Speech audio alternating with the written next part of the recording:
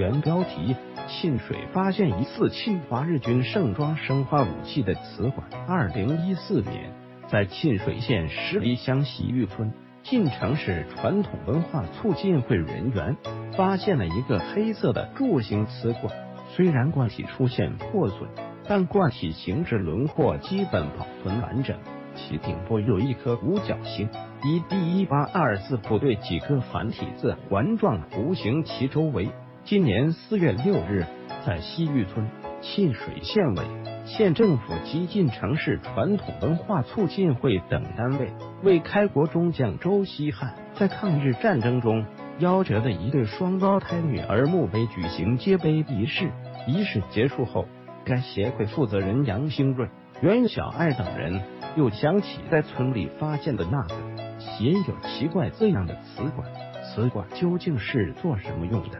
经过多方求证，并通过与网上图片比对，这个在沁水县十里乡西峪村发现的不起眼的黑色瓷罐，极有可能是侵华日军生化部队使用的盛装生化武器的瓷罐。零一发现一个奇怪的陶瓷罐。五月八日。晋城市传统文化研究会址堂会长员小艾回忆了当年发现这个陶瓷罐的经过。二零一三年四月十一日，由国家广电总局电影频道、中国人民解放军八一电影制片厂联合摄制的电影《战将周希汉》在阳城县北刘镇市山村开机。担任影片制片人的袁小爱，从周希汉之子周泰安赠送的周希汉中将书中得知，在抗战时期，周安泰有一对未满两个月的双胞胎姐姐夭折在沁水。二零一四年间，受周泰安委托，杨兴瑞、袁小爱等人数次前往八路军幺二九师三八六旅驻地。沁水县十里乡西峪村寻找周希汉将军在抗日战中夭折的一对双胞胎女儿埋葬地，在西峪村当年周希汉等人居住过的王家院楼上，杨兴瑞、袁小爱等人发现许多在抗战中留下的老物件。当时的情形，袁小爱历历在目，有木质和乐床、木勺、桌椅、杆秤、纺花车。汽油桶、快桶、钢盔、日军刺刀、子弹等。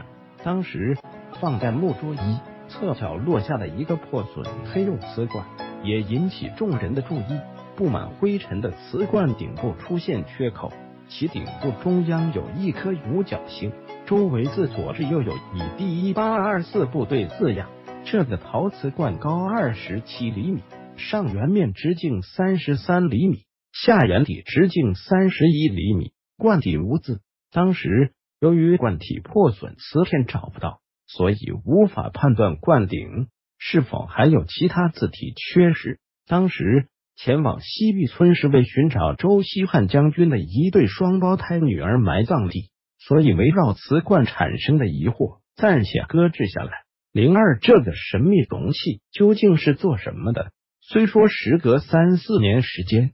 但瓷罐究竟是做什么用的的疑惑，始终在袁小爱等人的脑海里困扰。袁小爱无意中在网上发现了一条消息，这是二零一四年九月十七日《黑龙江日报》的报道。为纪念九一八事变八十三周年，由侵华日军第七三一部队罪证陈列馆联合四川建川博物馆共同举办的“为了和平收藏战争抗日战”。争专题展览在七三一陈列馆举行，在当天的展览开幕式上，四川建川博物馆向七三一陈列馆捐赠了二战历史文物七十件，其中包括日军一八二四细菌部队所使用的瓷罐等物品。黑龙江省七三一。陈列馆板房的侵华日军生化瓷罐，这条消息中出现的“一八二四部队瓷罐”等几个关键词，让袁小爱感到很熟悉。这不是与在西峪村发现的那个瓷罐吻合？经过一段时间的走访核查，并通过与网上相关图片的比对，杨兴瑞、袁小爱等进城市传统文化促进会人员恍然大悟。原来这个瓷罐既有可能是日本侵华期间使用过的化学武器专用容器，在西玉村发现的侵华日军使用的生化武器瓷罐，据查证，乙地通常是用在二战时期的日军部队番号中。一般来说，甲种部队是正规军，乙种部队是辅助军。以第一八二四部队就是乙种第一八二四部队，是日均在中国北方活动的一支细菌部队。主要负责投毒和使用化学武器，专门研制化学武器。如此说来，在西域村发现的这个瓷管，可能就是当年这支部队用来盛装化学毒气或细菌使用的器物，然后运至中国各地战场投放使用的。零三外形一致的日军陶罐，国内出现过，在陕西发现侵华日军使用过的毒气。细菌等生化瓷罐并非仅此一例。据二零一五年五月二十六日《山西日报》报道，二零一五年五月十一日下午，祁县摄影爱好者冯庆武、安喜田在该县来远镇盘陀村发现一个侵华日军使用过的毒气瓷罐。该罐为一个黑釉瓷罐，上为圆面，非常清晰地弧形写着“以第一八二四部队”。中间有一五角星图案，旁边有一个直径四厘米的圆形小口。此罐高二十七厘米，上圆面直径三十三厘米，下圆底直径三十一厘米。罐底无字，在写有部队字样一边，从上到下破损一块约十五厘米宽的缺口。破损瓷片未找到。其县来远镇盘陀村发现一个侵华日军使用过的毒气瓷罐。这个在祁县发现的瓷罐与沁水县西玉村发现的瓷罐一模一样，只是西玉村发现的瓷罐破损部位恰好在罐顶的圆形小口部位。祁县日军瓷罐的发现，正好将西玉村发现的日军瓷罐缺损部位得以完整复原。据祁县史志办整理编辑的《祁县抗日烽火》一书记载，该县在抗战期间。发生过两起事件，或许可以旁证日军在祁县应用过化学毒剂。一九三八年三月十九日，路经祁县官场村住了一夜的日军大队走后，有四人返回，说丢失一个防毒面具。翻出来后，他们将七名村民抓了起来，途中将一名村民刺死，其余六人被投入枯井活埋。一九四三年九月十三日。二十多名群众被日军扫射死或刺死，日军指使汉奸往水井内投放了毒药，又是二十多人中毒惨死，一百多人中毒生病。经网上查询，类似的侵华日军生化武器瓷罐还出现在安徽省定远县卢桥镇正善红色收藏馆。这家拥有各类藏品一百五十余万件的民间博物馆内。摆放着一个日军存放生化武器用的陶罐，罐体上方印有以第一八二四部队的字样。同时发现的日军头盔、军刀，可以确定这个生化武器瓷罐就是日军侵华的又一证据。五月九日下午，晋城市文旅委文物科科长张建军在仔细查看了西玉村发现的瓷罐。并与网上其他地方出现的日军瓷罐进行对比后，做出肯定的回答。侵华日军当年使用武器炮弹发现较为常见，但盛装毒气、细菌等生化武器的瓷罐作为化学毒剂容器，这在晋城发现还是首次。作为见证侵华日军对中国军民使用化学武器罪证实物。这只瓷罐具有很重要的历史文物价值。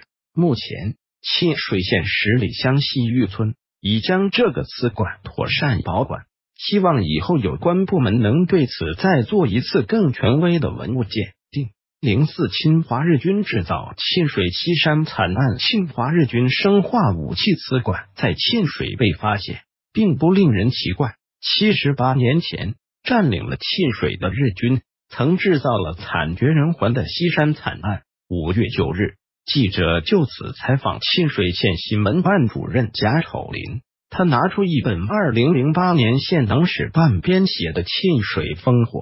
据《沁水烽火》记载，一九四零年四月十二日，日军第四十一师团由冈部侵占了沁水城后，江某找身到了西山村。西山村位于县城夫妻岭的山腰，距县城约十公里，是一个仅有一座院落、四十余间房屋的小山村。由于当时日军占领了县城，四处骚扰，因此附近各村村民常来西山躲难。当年七月九日八时左右，天下着雨，住在县城的五名日军由汉奸便衣队领路，携带着毒气弹。防毒面具和枪支，杀气腾腾的闯进了西山村。在西山村避难的有西关、廉颇、阳山等村的八十余名村民。整个院子的各房间里都住满了难民。日军一进村，立即架起了机枪，将大门封锁。三名日军对年轻妇女受性发泄后，戴上了防毒面具，将妇女驱赶进人群。然后便在院里投放了两枚毒气弹，毒气熏的人们实在忍受不下去了。